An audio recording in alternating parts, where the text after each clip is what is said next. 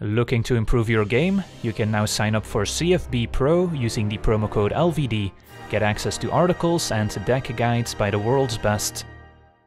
Hello and welcome to another Magic Arena gameplay video. Today we're taking a look at another standard deck, and as voted on by my supporters on Patreon, we're taking a look at a red-green landfall aggro mutate deck that tries to combine some of the new cheap landfall creatures with the mutate mechanic from Ikoria. So first off, let's take a look at some of our landfall creatures. We've got the 4 copies of Akoum Hellhound, 1 mana for an 0-1 elemental dog with landfall, giving it plus 2 plus 2 until end of turn whenever land enters the battlefield under our control. And then at 2 mana we also have the full playset of Brushfire Elemental, a red and a green for a 1-1 elemental with haste, and it cannot be blocked by creatures with power 2 or less, and landfall also gives it plus 2 plus 2. And then of course we've got Lotus Cobra, the 2 mana 2-1 snake, giving 1 mana of any color whenever a land enters a battlefield under our control. So these are some of the cheap landfall creatures in the deck, and then our game plan is going to be to mutate onto those creatures with our various mutate creatures, and there's no shortage of those mutate creatures in the deck. One of the most important ones is a Migratory Greathorn, 4 mana for a 3-4 beast, but we can mutate for 2 and a green, and then whenever this creature mutates, we can search our library for a basic land card and put it onto the battlefield tapped. So while mutating and increasing our creature's and toughness, turning our Hellhound from an 0-1 into a 3-4, we also get to search a land and enable landfall, so all of a sudden our Hellhound is now a 5-6 that can attack, and we can potentially enable landfall multiple times per turn if we have a land we can play as well. So that's why the Greathorn is such a powerful inclusion in this archetype.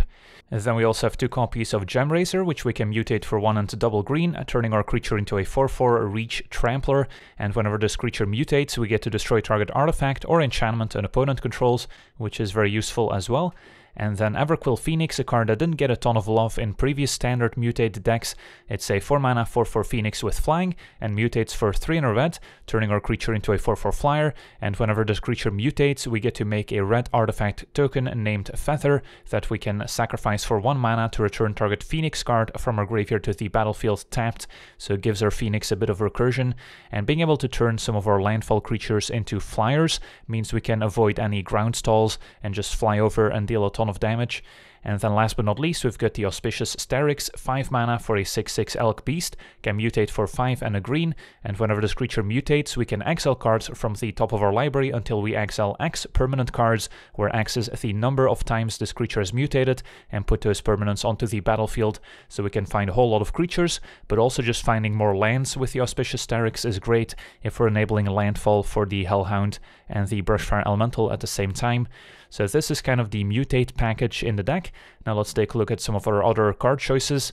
At 1 mana we also have 2 copies of Spikefield Hazard, 1 mana for an instant that deals 1 damage to any target, and if a permanent dealt damage this way would die, it gets exiled instead. So not only do we get to deal with 1 toughness creatures, like opposing Lotus Cobras, but we can also tag an Uro with it as it's going to the graveyard, as we can now exile it instead. So Hazard has a ton of utility, and then of course we can also play it as a tap land if we just need to enable landfall. At 2 mana, besides our 4 copies of Lotus Cobra and Brushfire Elemental, we can also use the 2 mana Adventure Stomp from Bonecrusher Giant, dealing 2 damage to any target, and damage cannot be prevented this turn, and then afterwards we can still play the 4-3 Giant. And then at 3 mana we also have the full playset of Kazandu Mammoth, 3 mana for a 3-3 Elephant with Landfall giving it plus 2 plus 2 until end of turn, and we can also play it as a tapped land called Kazandu Valley. And then we also have two copies of Radha, Heart of Keld, 3 mana for a 3-3 legendary elf warrior, and as long as it's our turn, Radha has first strike, and we can look at the top card of our library at any time, and we can play lands from the top of our library as well, so another great way to keep hitting land drops each turn to enable landfall, and for 6 mana, Radha gets plus X plus X until end of turn, where X is the number of lands we control. And because Radha isn't a human, we can always mutate onto it as well. And then we've got all the mutate creatures here with the Gemrazer, Greathorn, Phoenix, and Starrix. Now you might be wondering why we're not playing Skewed Mob, as it pairs well with the mutate mechanic. If we mutate onto a Skewed Mob and then hit lands 6 and upwards, we actually get to copy the entire mutate stack, including the Skewed Mob and the mutated creature on top of it. So that makes for a very powerful Skewed Mob synergy. but we aren't really playing it because we don't have that much ramp if you look at the deck. The only creature that helps us ramp is the Greathorn. The Lotus Cobra makes more mana, but it doesn't put more lands in play, so it's not all that useful when it comes to the skewed mob. And maybe once we mutate Starrix, we can put additional lands in play as well. But our deck is much more low to the ground, trying to get in early damage with Hellhound and Brushfire Elemental, and isn't necessarily looking to hit a ton of land drops to enable the skewed mob, so that's maybe for a different deck. And then going over the mana base, we've already covered Hazard and Kazandu Mammoth, which we can potentially play as lands. And then we also have two copies of Shatterskull Smashing, which we can play as the Hammer Pass at the cost of 3 life untapped. And then Smashing is a powerful removal spell, dealing X damage divided as we choose among up to two target creatures and or planeswalkers. And if X is 6 or more, Smashing deals twice X damage divided as we choose among them instead. And then we've got a few basic lands, 5 mountains, 7 forests, 4 of the new pathway, that's either red or green, and then a total of 6 fetch lands, since they combine so well with our landfall mechanic, 4 copies of Fabled Passage, and even 2 copies of Evolving Wilds, just because enabling a landfall twice in one turn is so powerful. So yeah, that's our deck, now let's jump in some games and see how the deck does. Alright, we're on the play with a decent looking hand. Double Radha may be a little awkward, but if it's the target of removal, it's nice to have a backup. And then double Hellhound can do a lot of early damage. It's interesting when we play the Fabled Passage here. Because I kind of want to play Radha on 3, and at the moment the only way to do that is by fetching with the passage. Alright, that helps.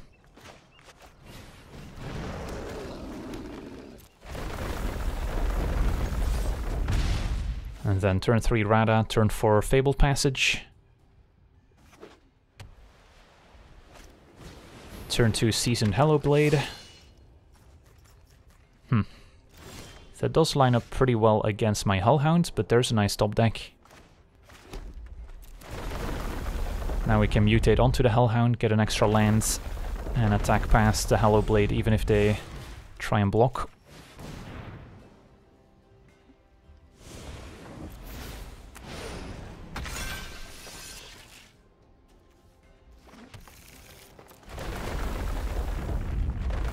They're pretty likely to just block the 7 damage and discard a card.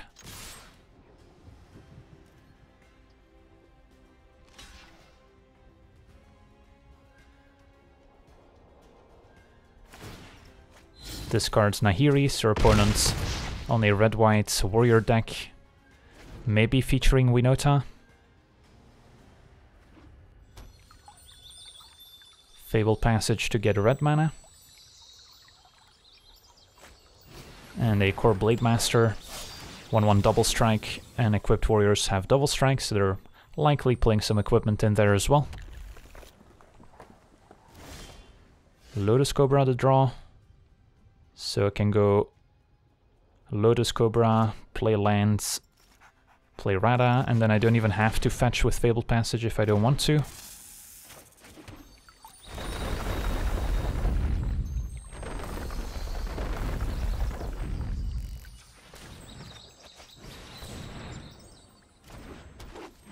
Brushfire Elemental on top. I guess it's still a fine draw. Second attack, and then if they don't force me to fetch with passage, I may not do so. Opponent does chump, so I'm less incentivized to search with Fabled Passage now. Discards another card. So this is definitely a situation that highlights the importance of having a bit of evasion with our Phoenix and with our Gemrazer giving trample to avoid our creatures getting chum blocked. Maul of the Skyclaves giving plus 2 plus 2 flying and double strike. Thanks to the Blade Master of course, otherwise it's just first strike. So 5-3 double striking Hallowblade. It's gonna stay on defense. Yeah, that's not easy to get past.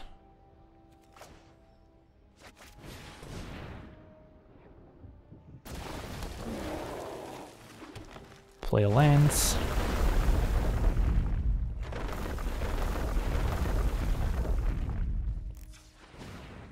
So I could fetch and then activate Radha here too. I guess that's not a bad idea. Don't really want to draw Lotus Cobra anyway.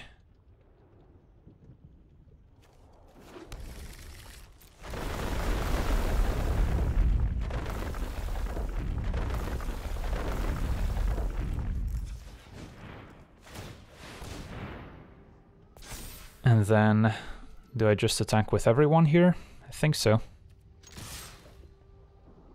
Opponent can block two. And then they're still taking 11 here. And then one of the blocks would be a trade and the other one would be a chum block.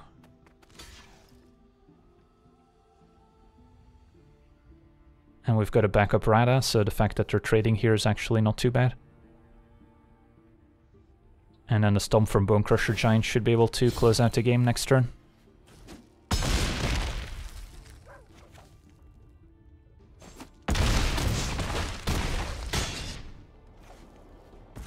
Alright, so pretty nice turns there.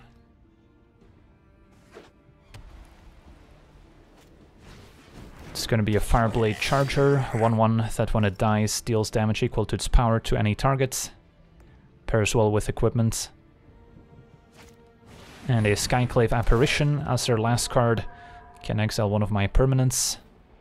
But yeah, the Stomp from Bonecrusher Giant just gonna end the game here.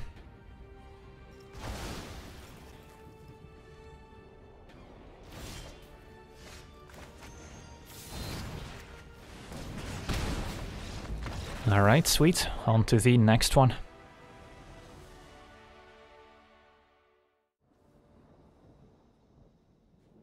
Alright, we're on the draw. Uh, this hand's probably keepable. Uh, it's a bit light on mana, and we might struggle to mutate Starrix, but I'll keep... If we find Greathorn, that's probably one of our better draws if the Brushfire Elemental survives. Sadly, I will be forced to use the Evolving Wilds instead of saving it to enable Landfall. Still missing double green for mutates. Although we can mutate the Phoenix.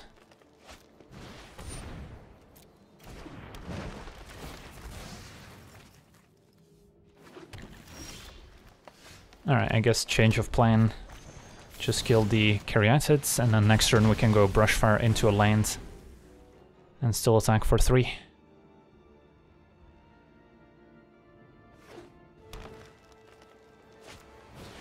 Garruk's Harbinger. Fabled Passage, an interesting draw. Could allow me to just play the Brushfire and stay on defense with it, but at that point we might as well just play the Bonecrusher and block. And hope they don't have a fight spell here. It's gonna be a Warbriar Blessing, taking out Bonecrusher Giant and letting them hit me for 4. Gemrazer can maybe kill the enchantments, but it's gonna be a slow process. And the opponent's gonna gain a ton of card advantage here. Finds a questing beast. That's rough.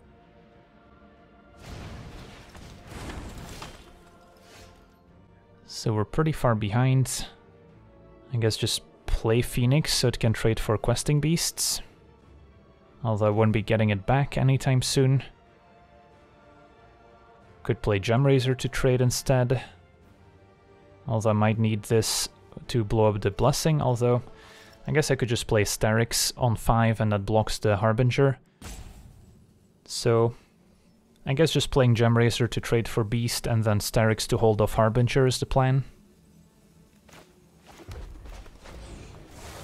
And then keep Phoenix for later, as a recursion could be useful.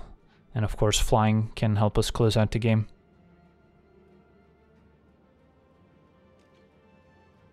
Opponent does not have land 4 perhaps.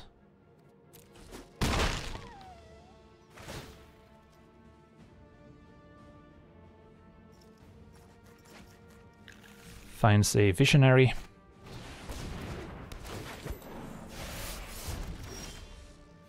Hellhound a draw. So I do have the option of mutating my Phoenix onto the Gemrazer, killing the Warbriar Blessing, and then I have a 4-4 that can trade, and then I have the 1 mana to return the Phoenix, end of turn even. Comes into play tapped, and then next turn I'll have a Phoenix in play again. Or I can just play Starrix and then next turn mutate onto the Starrix. That feels better to me.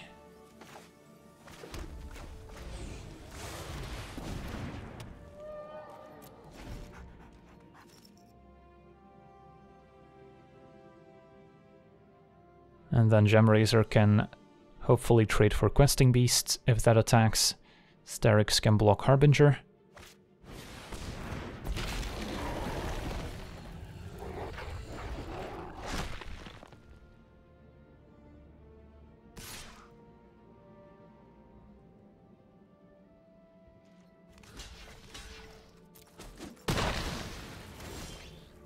Lotus Cobra the draw. So I can essentially play this for free.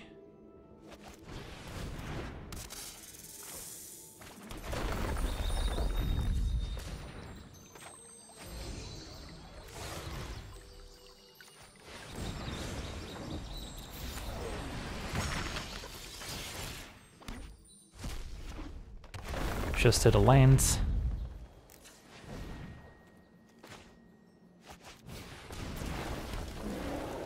And then probably leave the failed passage uncracked. And then we gotta hope to find more mutate creatures to gain advantage with uh, Starrix. Elder Gargaroth. That's a scary one.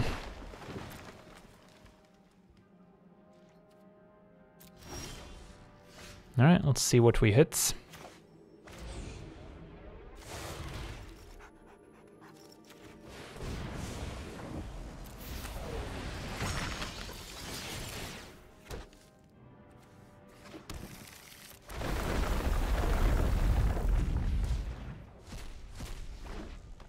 Just a couple lanes. Well, at least my Brushfire Elemental's pretty big now. So... This can attack.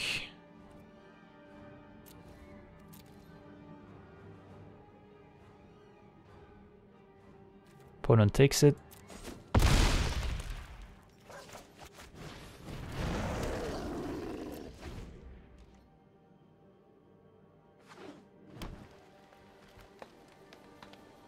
Probably forced to trade for Gargaroth if that attacks. Another Warbriar Blessing. It's gonna kill the Starrix. And uh, yeah, there's no useful mutations here with Fabled Passage. I can bring back the Phoenix, but that's not where we want to be. And a Gemrazer mutated.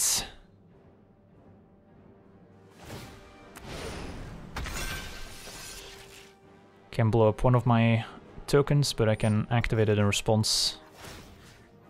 Bring back Phoenix. And then my Hellhound can hold off Gargaroth. Harbinger attacks. I guess I'd jump with the Cobra.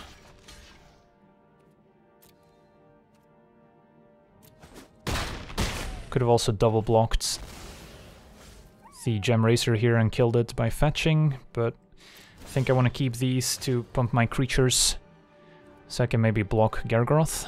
Gem Racer to draw.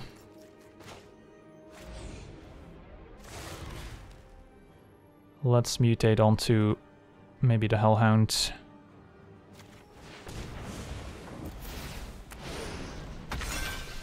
Make it easier to kill Elder Gargaroth if that attacks.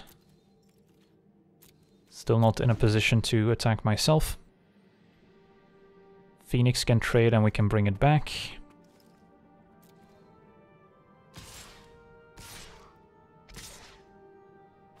Sends in everyone. So Gemrazer can go on Gargaroth and we can fetch. Phoenix and Brushfire probably just double block the Harbinger so it doesn't find more creatures. Or I guess at that point I might as well double block Gargaroth. Block here and then fetch. Sure.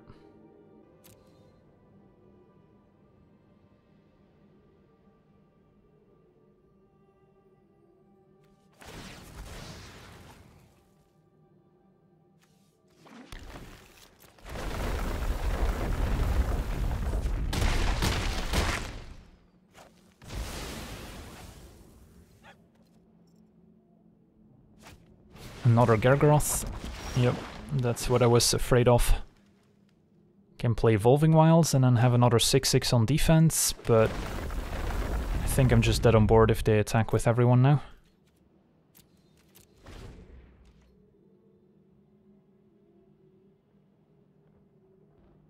Yeah, we didn't find the best cards with the uh, Mutate. Finding two lands was not what we needed.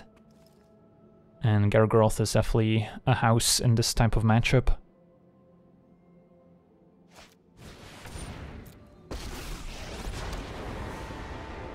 I hope you're ready to fight for your life. Garruk pumps Gargaroth. Out of our way.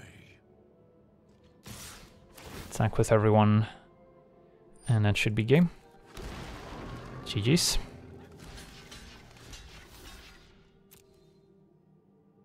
One last fetch. Interesting. It didn't even give me priority to sacrifice the Evolving Wilds here. So keep that in mind if you ever want to fetch Evolving Wilds. It uh, doesn't hold priority, so you probably need to go into full control to make sure you can still fetch to enable landfall. On to the next one.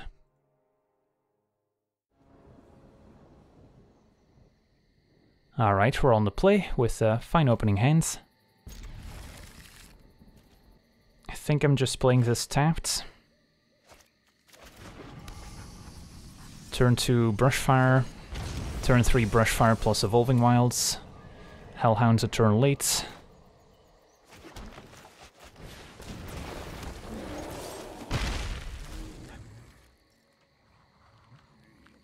Suppose I can save the Evolving Wilds and next turn just go Brushfire plus Hellhounds. Opponent on an interesting adventure deck. Typically don't see Zagoth Triome in these decks. So I could smash for 10. If my opponent has Bonecrusher Giant next turn, I'm gonna be pretty sad because I get to kill both of my creatures. But if I just go Hellhound Brushfire, I miss out on a ton of damage. I guess it's only 4 damage. Alright, fine.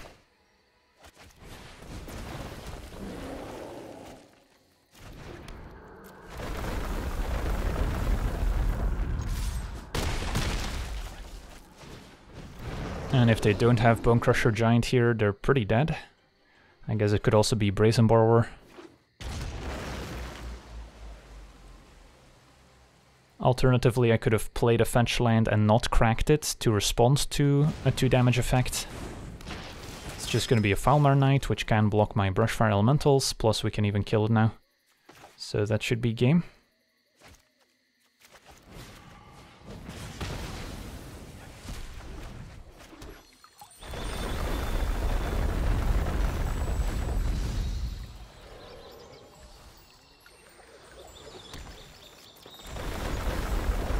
GG's. A nice turn for kill. On to the next one.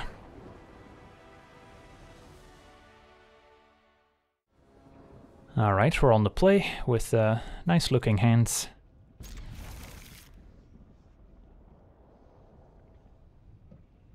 Probably start out with Mountain. It's a little greedy to hold the Fabled Passage in case the Cobra dies, but the payoff is definitely there if it survives.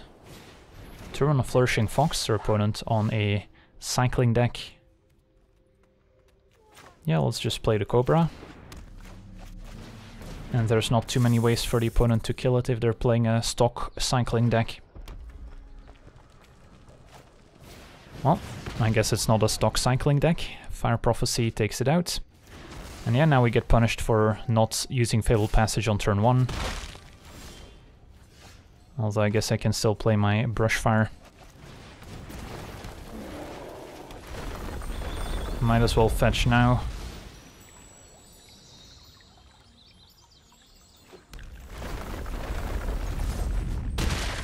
Hit for 5. Next turn we can mutate, get an extra land.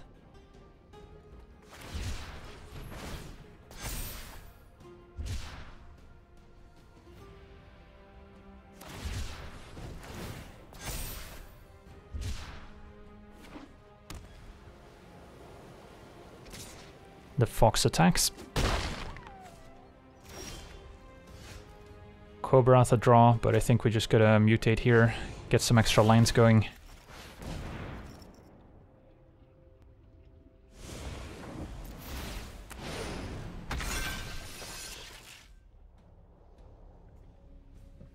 And hit for five.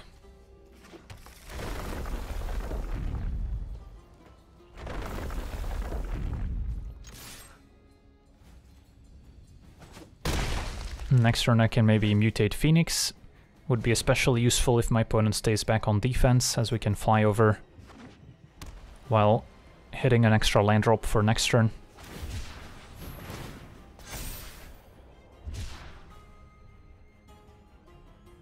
Could also see a fight here, go for blood, yep.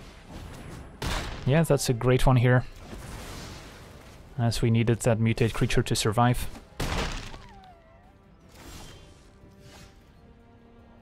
So now what? Can play Radha plus Cobra. And then hope to mutate Starrix next turn. Or the Phoenix. Just playing the Phoenix without mutating it feels kind of weak.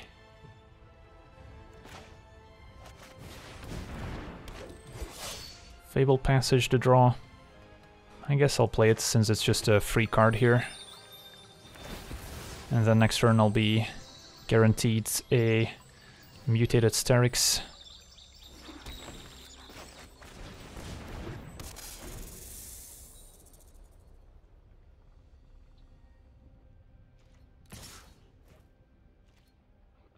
How many cycling cards in the graveyard? Four.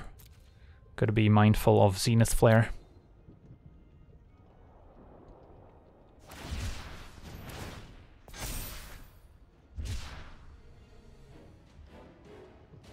Opponent debating whether they want to keep cycling or maybe do something different.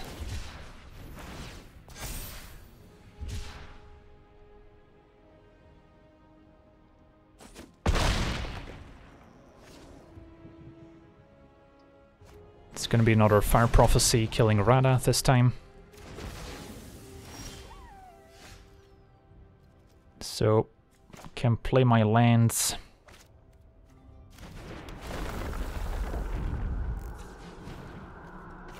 Then mutate Starrix and have Hellhound as an extra blocker as well.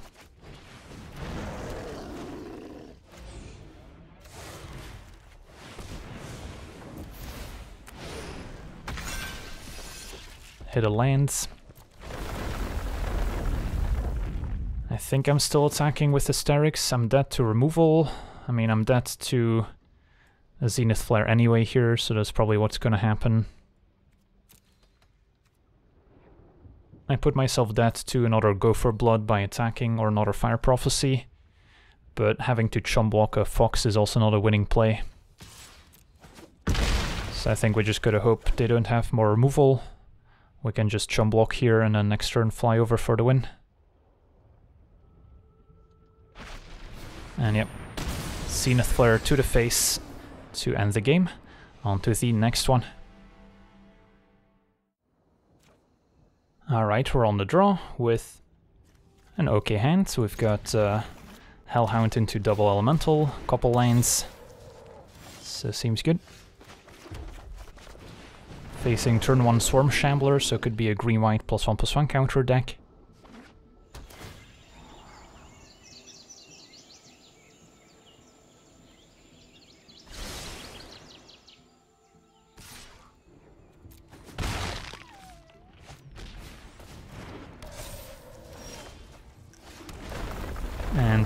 Passage could also do some damage next turn. They can block my Brushfire.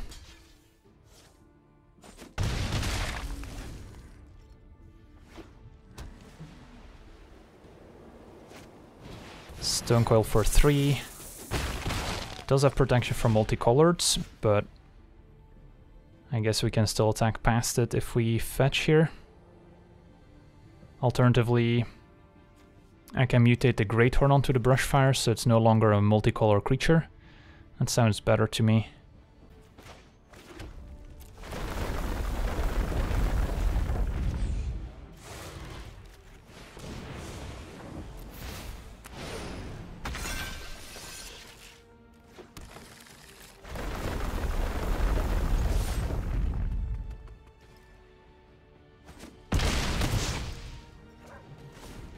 Opponent's already down to 6. This would be a great spot for Gemrazer or Phoenix.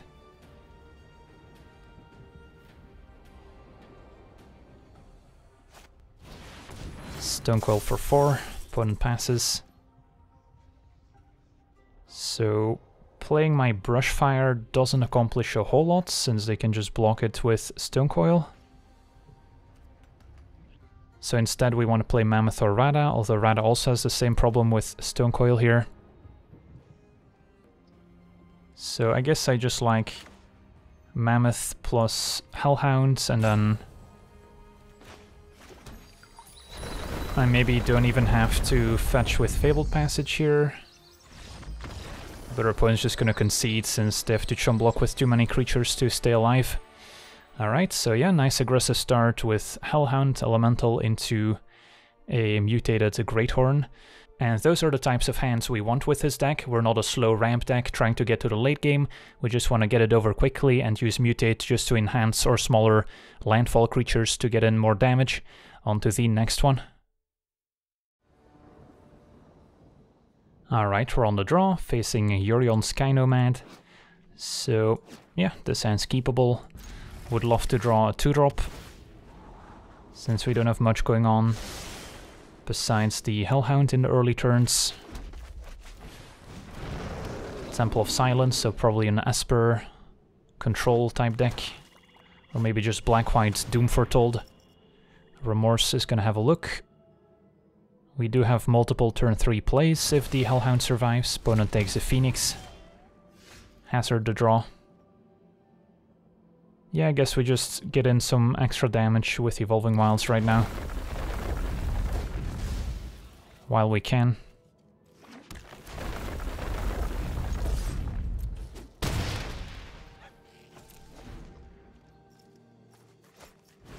Charming Prince. It's gonna scry 2. So next turn, probably just mutating Greathorn. And then we can play Radha and potentially play Land of the Top right away in the same turn.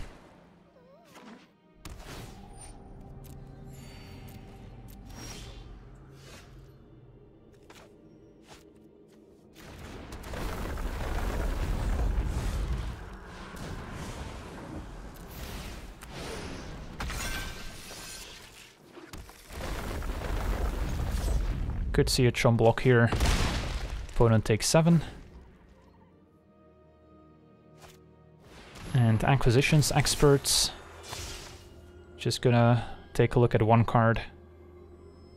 They can have my forest, I guess.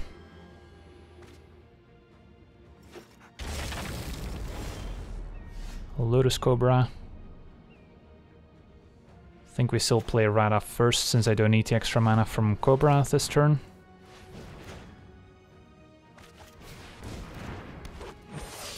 Smashing. I think I just want to draw the Smashing instead of playing it now.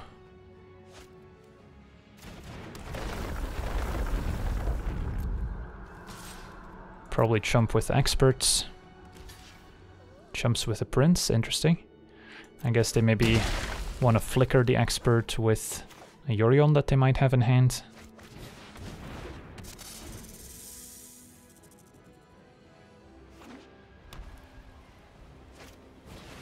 Charming Prince can also flicker Acquisitions expert here. But we don't care too much about losing the hazard.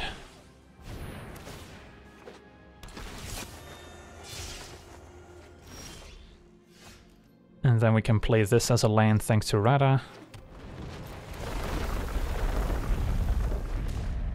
And then smashing for 4 can clear both blockers.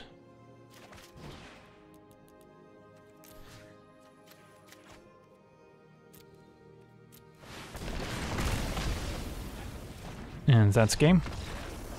Alright, sweet. So pretty clean victory here over a black-white Yorion deck. So, in conclusion, red-green landfall aggro. There's definitely a lot of ways to build it, whether you go more low to the ground, whether you include the mutate package or not. But uh, main takeaway is that The Akoum Hellhounds and the Brushfire Elemental are great inclusions for any aggressive red-green deck, especially alongside a couple extra fetch lands like Evolving Wilds, but the top end of the deck could potentially just be a more traditional aggro deck where you play your full play set of Bonecrusher Giants, you play your Questing Beast, maybe Embercleave. Embercleave is not the best combo with the Mutate package since you tend to go all in on one creature, so it's more difficult to reduce the cost of Embercleave. And with Embercleave we also have a new way to prevent our opponent from blocking our large landfall creature, so we don't necessarily need Phoenix and Gemrazer to fill that role. So yeah, that's going to do it for today's gameplay. Wanna thank you for watching, hope you enjoyed, and as always, have a nice day. I also want to thank all my patrons for being part of the channel, and you can become a patron yourself today and decide the topic of future videos over at patreon.com forward slash LegenVD.